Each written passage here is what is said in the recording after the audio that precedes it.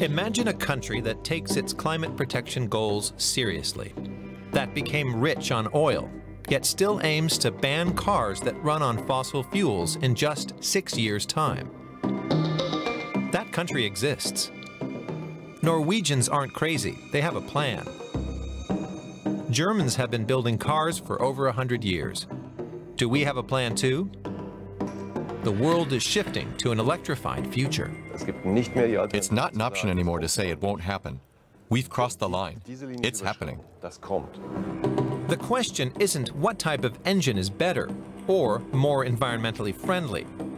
The car industry is in the throes of unprecedented change, and Germany risks being left behind. The world's biggest car market, China, is powering an electric vehicle revolution and building the cars it needs itself. The world has made up its mind. Has Germany, the birthplace of the automobile, a proud car culture? We know how to build a diesel engine. Ours are probably the best in the world. We can also build combustion engines. The question is, does the world still need them? Is Germany prepared for the future?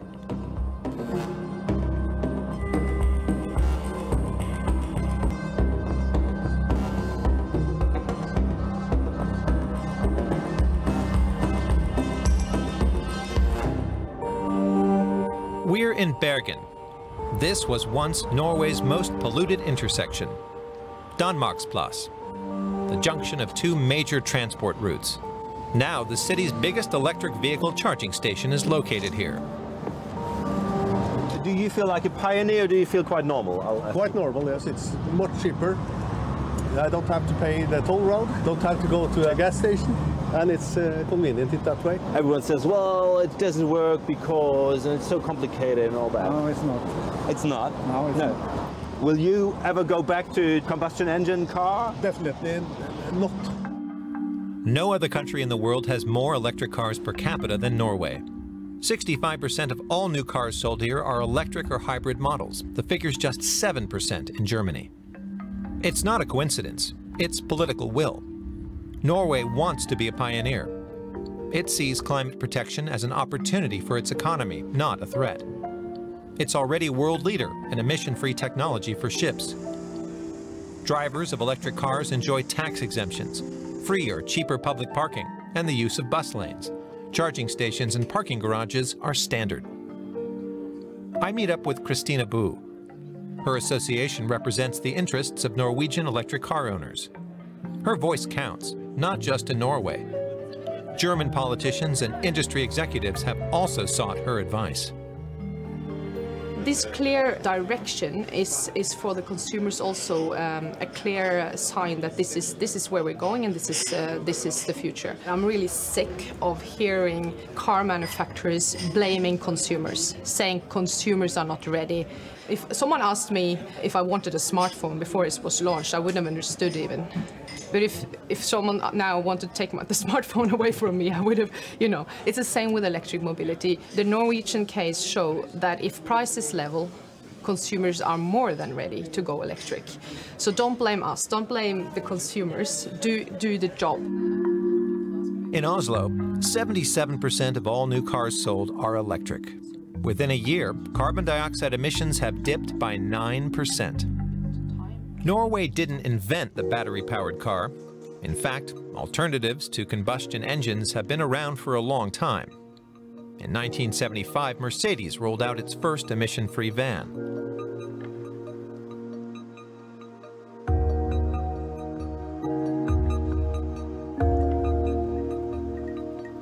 Nineteen seventy-six marked the birth of Volkswagen's electric Golf. BMW launched its E1 in the early 1990s. 27 years later, and we're still not ready. Germany is nowhere near to reaching its 2020 climate goals, which foresee a million electric vehicles on its roads next year. Instead, we're still debating.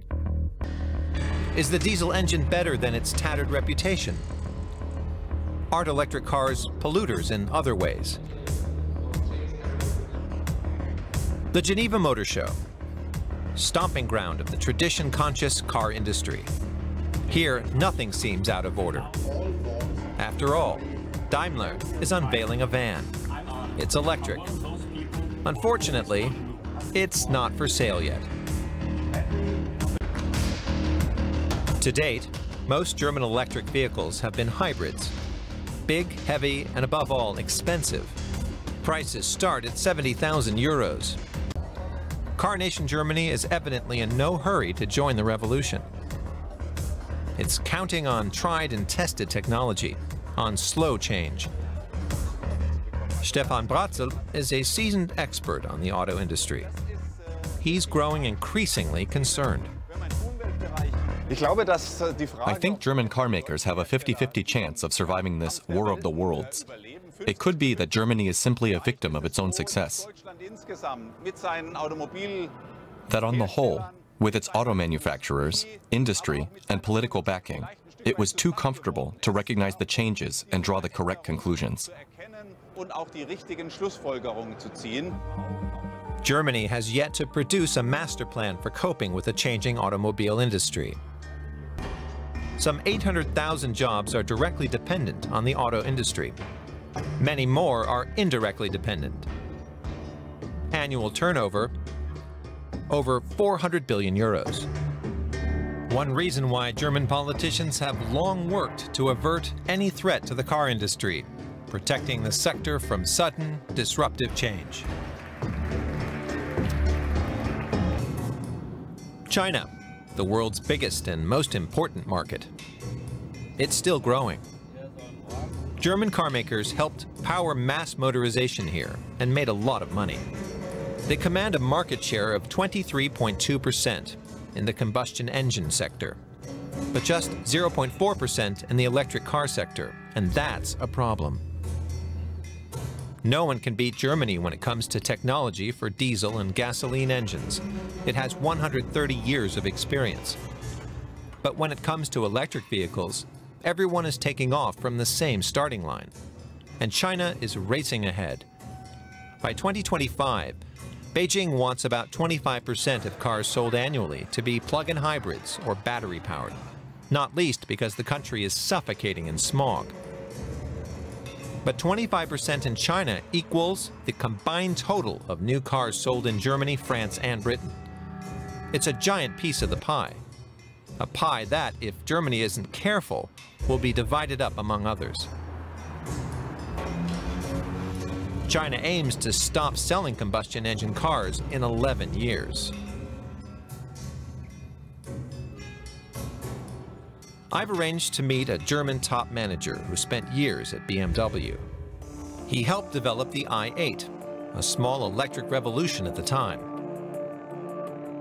But then he turned his back on Germany and came to China. He took half his development team with him.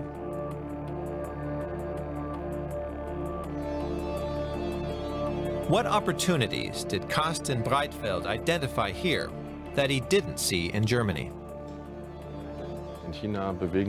Things happen in China at lightning speed. It's a gigantic market, with 30 million new cars sold each year. There's a ton of capital and investors in China, and the issue has strong government backing. In China, if the government says more electric cars are the goal, then the decision is made to install 50,000 charging stations, and by the next month they're in place. So normally, the follow-up question in any interview is, does that mean I'm against democracy? And naturally I say, no, I'm not. But if I look at the European democratic structures, then I see how we spend about a decade discussing new ideas. And after a decade, all that's left is 10% of the original idea.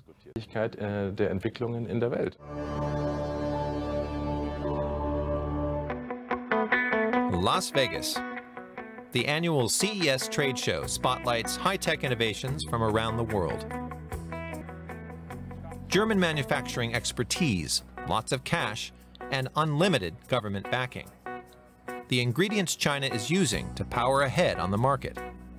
The M-Byte is a 40,000 euro electric SUV with a 1 meter 20 screen, a tablet on wheels for video conferences or online shopping to pass the time in traffic jams. It's set for production late 2019. I'm meeting another high-profile German who jumped ship. Karl Thomas Neumann was on the Volkswagen board. CEO of Continental and then Opel. Now he lives in the US, where he's launched a startup.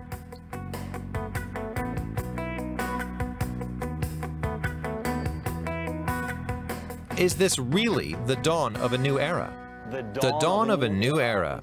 And down here we have the biggest SUV that BMW has ever built. Isn't that emblematic of the current situation in the German car industry? Sure, you could say that. It's kind of symbolic of what's going on. It certainly looks more like a dinosaur than futuristic. But the dinosaurs aren't nearing extinction. They're still successful moneymakers in the twilight of the combustion engine. Is the German auto industry being held back by its own success? I do think that's a big part of it, yes. It's hard to give up that success and say, to some extent, I have to destroy that success to create a new one. Jobs will be lost, but new ones will be created. And electric vehicles will give rise to new business opportunities. But where's this being discussed in Germany, or even in Europe? Maybe we Germans simply can't part with our gas guzzlers yet because they're our invention and so slick. Perfect machines with high precision parts that just keep getting better, stronger, heavier. 2.5 tons of German engineering genius. The most complex driving machine in history. An electric car doesn't need all that. Instead of an estimated 2,000 moving parts, it has just 200, simply beneath our dignity. Andreas Knie is one of Germany's leading researchers in the field of transport. If nothing changes, we'll protect the German auto industry to death. We are currently endangering the five, six, 700,000 jobs that we still have because we're protecting something that has no chance of survival. If we continue this policy, then we'll be overtaken because the world around us is different. People and countries, and above all cities elsewhere in the world, have long since made the decision to phase out combustion engines and switch to battery-operated cars. If we don't play along, we'll lose crucial export markets, and we'll be sitting on technologies and cars that no one needs anymore.